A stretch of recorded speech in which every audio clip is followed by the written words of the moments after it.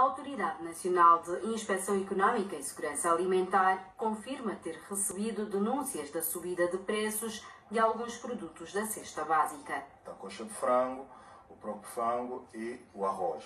Osvaldo António avança não haver nesta altura qualquer razão que leve à subida dos preços, pois diz haver produto suficiente a nível nacional. O Executivo angolano adotou medidas uh, há não muito tempo com a criação do, da reserva estratégica alimentar para que ali onde haja escassez de produto poder então eh, colocar esses produtos à disposição dos consumidores ou dos operadores e consequentemente aos consumidores. O responsável pela área de comunicação institucional da NIES avança que alguns operadores, na ânsia do lucro fácil, retêm produtos para criar escassez no mercado e desta forma poderem subir o preço destes produtos. Pensamos eh, nós que é este o modus operandi que está a acontecer agora, mas entretanto a NIESA, com os seus operacionais, estão no terreno para verificar efetivamente as razões que levam à subida de preço. O conflito ucraniano é também apontado por Osvaldo António como uma das possíveis causas para a subida destes preços.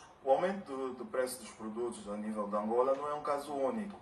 Nós sabemos que há o conflito entre a Rússia e a Ucrânia, que são dos maiores produtores, por exemplo, da coxa de frango, do frango, do arroz e que fazem com que mercados, outros mercados exportadores desses produtos, como o Brasil e os Estados Unidos, no caso do frango, ou a Índia, a Tailândia, no, no caso do arroz, sejam inundados de, eh, de, de países a adquirir esses produtos, criando assim uma escassez. A NIESA promete desencadear um processo criminal a fim de punir todos os operadores que sejam descobertos a fazer assambarcamento de produtos. Por isso, nós alertamos os operadores econômicos para evitarem esse tipo de práticas, porque nós vamos ser severos na atuação nesse, nesse, nesse quesito. A NIESA garante que vai continuar a trabalhar nos próximos dias para constatar as denúncias feitas pelos utentes e reforça o apelo aos comerciantes para que exerçam sua atividade totalmente dentro da lei